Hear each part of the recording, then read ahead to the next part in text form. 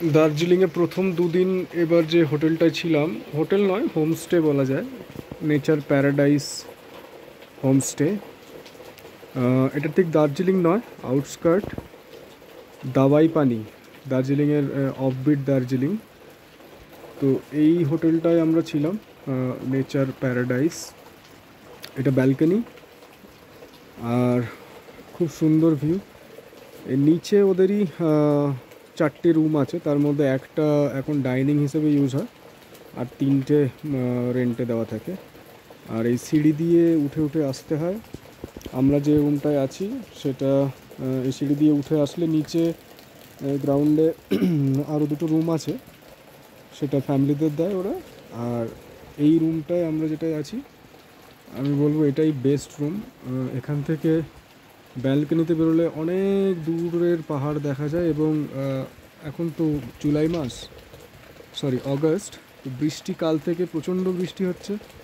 এখন একটু ধরেছে, তাই পাহাড়গুলো দেখা যাচ্ছে, নইলে সারাক্ষণই মেঘে সাদা হয়েছিল। তো অনেকটা নিচু এই যে গাছগুলো দেখা যাচ্ছে এখান থেকে, অনেকটা নিচু, এই দূরের গ্রাম দেখা যাচ্ছে। আরও একটু একটু ক্লিয়ার হচ্ছে এই পাহাড়গুলো দেখা যাচ্ছে। একদম ক্লিয়ার হলে কিন্তু কাঞ্চনজঙ্ঘাও দেখা যায় এখান থেকে। তো এটাই হচ্ছে মেন অ্যাট্রাকশন এখানকার। যে রুমে বসে কাঞ্চনজঙ্ঘা দেখার মতো সুযোগ সব হোটেলে তো থাকে না। জায়গাটার নাম দাবাই পানি। দাবাই পানি হচ্ছে গিয়ে দাবাই মানে ওষুধ আর পানি জল। তো এখানকার জলে ওষুধই আছে, সেটাই সবাই বিশ্বাস করে। তো ইংরেজরা যখন এখানে এসেছিল তখন কোনো একটা ইংরেজ তার অনেক দিনের পুরনো একটা অসুখ সেরে গেছিল এখানকার জল খেয়ে। তো সেই থেকেই জায়গাটার নাম দাবাই পানি হয়েছে। দাবাই পানি মানে দার্জিলিং অবধি যাওয়ার আগে জোর বাংলো মানে ঘুম স্টেশনের কাছে জোর বাংলো থেকে ডান দিকে পেশক রোড ধরে অ্যাবাউট এইট কিলোমিটার্স আসলে এই জায়গাটায় আসি আমরা সিক্স মাইল তো সিক্স মাইল থেকে দাওয়াই পানি যাওয়ার রাস্তা আছে। এটা হোটেলের চারদিকটা দেখাচ্ছি আমি। নেচারটা খুব সুন্দর পরিবেশ। আজকে বৃষ্টি হচ্ছে, সকাল থেকে খুব বৃষ্টি। ঠিক আছে ব্যালকনি থেকে একটু রুমের দিকে যাই।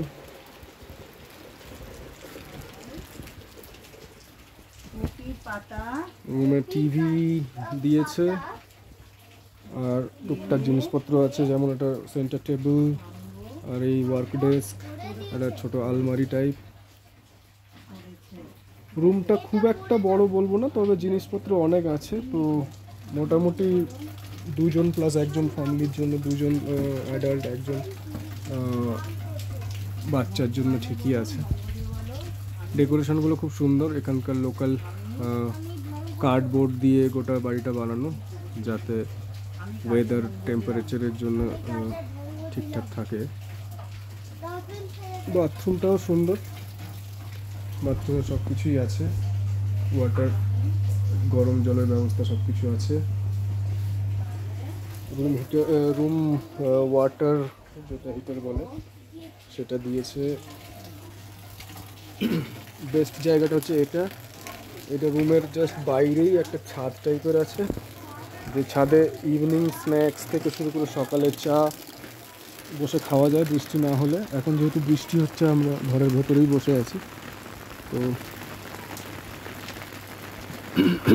এই হচ্ছে সিঁড়িটা। এই সিঁড়ি দিয়ে উঠে আসতে হয়। সিঁড়ি দিয়ে উঠে আসলে প্রথমে এই ছাদ। ছাদ, ছাদের পরে ভেতরে রুম। আর চারিদিকটা এরকমই সুন্দর। কোনো কোলাহল নেই, একদম অফবিট জায়গা। আচ্ছা এইখানে মোবাইলের টাওয়ার আছে, তো মোবাইলের কোনো অসুবিধা হয় না। ফাইভ জি খুব ভালো স্পিড আসছে, একদম ব্রডব্যান্ডের স্পিডের মতো। তো আমরা দুদিন ওয়ার্ক ফ্রম হোমও করলাম। কোনো অসুবিধা হয়নি মোবাইলের কানেকশানে আর এই ওপরে একটা ওয়াচ টাওয়ার টাইপের আছে এদেরই। তো যখন ওয়েদার ক্লিয়ার থাকে, যারা নিচে থাকে, তাদের রুম থেকে খুব একটা ভিউ তো নেই। তো ওরা ওপরে ওয়াচ টাওয়ারে এসে কাঞ্চনজঙ্ঘা দেখতে পারে। এখন প্রচণ্ড বৃষ্টি হচ্ছে, তো চারদিকে মেঘই দেখছি। এই ছাদটাই আমার সবচেয়ে ফেভারিট জায়গা। এইখানে দাঁড়ালে এই দূরের পাহাড় দেখা যাবে, এখন তো মেঘ, আর কিছু দেখা যাচ্ছে না।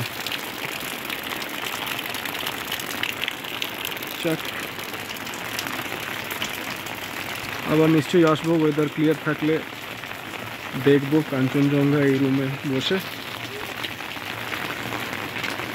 যার নাম নেচার প্যারাডাইস হোমস্টে